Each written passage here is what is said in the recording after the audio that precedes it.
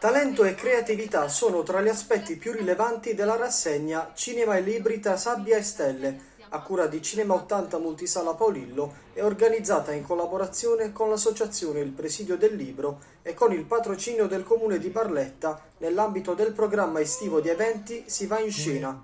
Ospite speciale della rassegna è stato il giovane regista barlettano Giuseppe Arcieri, autore del libro C'era una volta Sergio Leone e del cortometraggio C'era una volta il Covid. L'opera letteraria è un omaggio al cinema italiano e in particolare a uno dei registi più studiati in America, un testo che ripercorre tutta la carriera artistica e professionale di Sergio Leone, sceneggiatore e produttore cinematografico, senza trascurare il legame con Ennio Morricone, autore delle colonne sonore dei suoi film. Sergio Leone per me è il mio mentor, il mio guru, il maestro che ritengo fonte di ispirazione più grande tra tutti i registi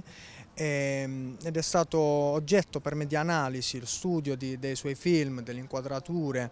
anche se pensiamo al richiamo del titolo, c'era una volta il Covid, è proprio un richiamo ai, ai suoi titoli, a, alla sua poesia, alla sua etica, all'inquadratura, ci sono tanti primi piani, eh, il suono, campi lunghi, quindi ho voluto proprio omaggiare questo maestro che secondo me va studiato. Significativo anche il cortometraggio C'era una volta il Covid, candidato all'edizione 2021 del prestigioso David di Donatello e vincitore di 10 premi nei festival internazionali. Protagonista del video è Antonio Sarcinelli, un settantenne che si trova a dover affrontare una pandemia inaspettata con risvolti che lo portano a vivere in solitudine. L'anziano non si abbatte e riscopre invece la bellezza delle piccole cose che la quotidianità sa offrire, anche i semplici suoni della natura.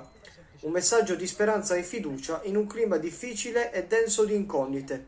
Nel video sono omessi volutamente i dialoghi per dare spazio alle immagini e alle espressioni. Ho preso mio padre come cavia e questa figura di un anziano perché se pensiamo agli anziani è la fascia sociale più colpita all'inizio da questo benedetto virus ed è una persona da preservare, quindi la figura del saggio che può insegnare tanto a noi giovani. E ho voluto analizzare proprio la sua solitudine, i suoi momenti di pace, correlandolo anche ai suoni della natura e perché la, la, pandemia ci ha fatto prendere tanto tempo per noi stessi, quindi abbiamo dedicato tempo per noi stessi un cortometraggio nato durante il lockdown in perfetta armonia con Vittoria Diletta Filograsso, esperta del suono, e con lo sceneggiatore Michele Piazzolla. Episodio particolare, tipo quando abbiamo uh, visto e poi scritto le scene in macchina,